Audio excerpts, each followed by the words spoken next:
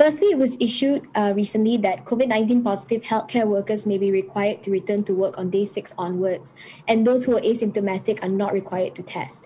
How bad is the manpower shortage for this directive to have been issued? Has the need for it arisen already, or is it merely a precaution? And would this compromise patient safety?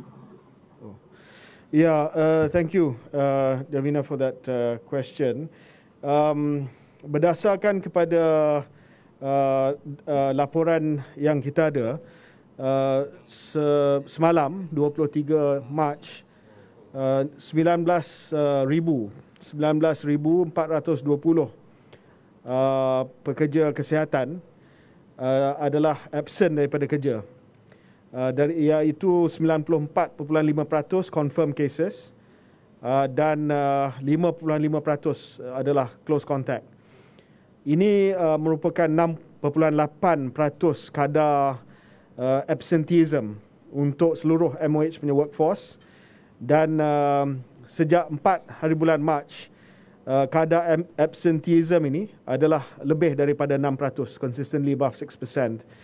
Oleh kerana itu uh, ramai pengarah hospital telah mohon supaya kita dapat uh, uh, review kaji semula uh, polisi pengurusan uh, COVID uh, confirm cases.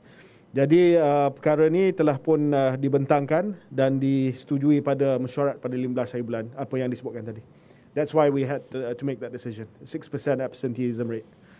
And would this compromise patient safety? No, uh, because um, yang pertama uh, kita uh, pastikan bahawa close contact ini dapat buat ujian uh, dan mereka tidak bergejala dan kita dapati bahawa itu uh, memadai selain daripada uh, PPE yang biasa dipakai di hospital adalah satu uh, pelindungan yang baik bukan hanya untuk doktor tapi untuk uh, pesakit juga. Uh, but just clarifying, those who are asymptomatic don't have to test themselves, right? After day six? After day six, yeah.